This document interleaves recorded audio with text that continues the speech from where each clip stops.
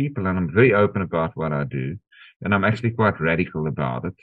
And mm-hmm. I, I, you know, natural law is natural law, and I work with this, and I tell people we are literally a flagship for the new.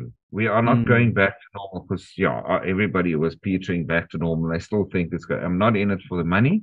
Mm. Um, I'm in it to create everything new, even alternative economies, you name it. Mm.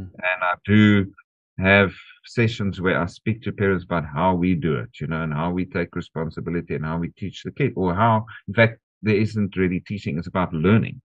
Yeah. Um, I tell them, be your own boss. I don't like to be anybody's boss or teacher, but okay, I can. I'm very good at it. if you don't, I will do it.